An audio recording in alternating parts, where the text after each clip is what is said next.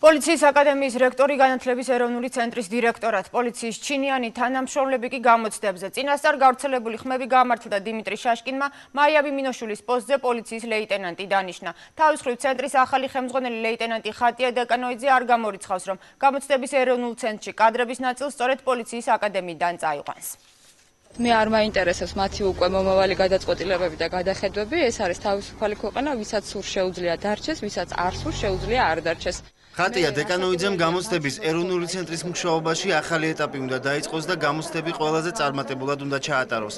განათლებისა და მეცნიერების მინისტრის ასეთი დავალებით შეუდგა საქმიანობას პოლიციის აკადემიის ყოფილი რექტორი.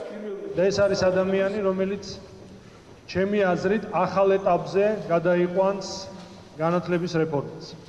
ეს არის ადამიანი, რომელიც სარგებლობს სრული ნდობით დეკანოიძე ზენდობიან უმაღლესი სასწავლებლების ხელმძღვანელები და სკოლის დირექტორების, რომლებიც დღეს განათლების სამინისტროში საგანგებოდ მიიწვიეს. მე გეუბნები დღეს ჩემ პოზიციას, რომ ქალბატონი მაია განსათავისუფლებლო უფრო ადრე მეთქი. ეს არ არის უბრალო ამბავი, კიდევ ერთხელ ამბობ, რომ მე ვიცნობ ბევრი ადამიანს, ვინც იქ მუშაობდა, ისინი არიან ძალიან მაღალი კვალიფიკაციის ადამიანები და რაღაცა დრო ცხადია დასჭირდება იმას, რომ ანალოგიური კვალიფიკაციის ადამიანებით შეივსოს ეს სამსახური. ის კი არ არის მთავარი რო პოლიციის აკადემიის რექტორი ცვლის. ზოგადად ვინმე რომ ცვლის, აი ამას ვაფასებ ნეგატიურად, თორე თავისთავად ხა პოლიციის აკადემიის რექტორის მიმართ ქალბატონი ხატიას მიმართ ვერა არაფერი ცუდი არ შეგვიძლია თქვა, იმდენად ამდენად არ ვიცნობ. არც კარგი არაფერი შეგვიძლია თქვა, არც ცუდი, არასოდეს შეხვედრივარ ჩემ შემსწრელი შეფასებისას კორექტულია გამოცდების ეროვნული ცენტრის ყოფილი დირექტორი, თუმცა მაიამი მინოშულს არც ეს ფაქტი გამორჩენია. სამინისტრომ დირექტორების კონკურსი რო ჩაატარა, პირველი ჩვენ გთხოვა და ნუ ჩვენ უბრალოდ ვერ ვერ შევძლებდით ვერაფერს ამის მომზადებას მოკლევადაში და შემდეგ პოლიციის აკადემიამ ჩაუტარა ტესტირება დირექტორების შესარჩევი კონკურსის და ნუ რა ვიცი, რა გითხრათ ახლა ამას მე მგონი კომენტარიც არ ჭირდება. პოლიციის აკადემიის ოფიციალურ გვერდზე ხატია დეკანოიძე ამ დრომდე შინაგან საქმეთა სამინისტროს სასწავლო დაწესებულების ხელმძღვანელად არის მოხსენიებული. დღეიდან კი პოლიციის ლეიტენანტი დეკანოიძე საქართველოსი საგამოსტო პროცესს ჩაიბარებს.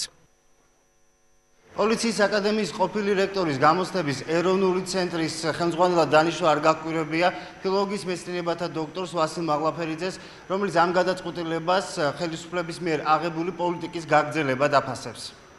საზოგადოება თველოდება რომ ამას არ გაამართლებენ არა რასაკვირველი სამინისტრო ამას ყველაფერს გაამართლებს და ყველაფერს დაარქმევს რომ ეს არის საუკეთესო გადაწყვეტილება და რომ სწორედ აი ამ გადაწყვეტილებისთვის მიდიოდე ეს სხვადასხვა სამინისტროს ეს პოზიცია საერთოდ ჯდება იმ პოლიტიკაში რომელიც საერთოდ ხელისუფლებაშია. ყველაფერს რასაც აკეთებს ხელისუფლება ეს არის საუკეთესო. თუ წყალი ჩამოდის აშენებულ შენობაში ეს არის საუკეთესო გადაწყვეტილება ხატია დეკანოიძის გამოცდების ეროვნულ ცენტრად დანიშნვას მოყვა ასევე სხვა საკადრო ცვლილება შინაგან საქმეთა სამინისტროში.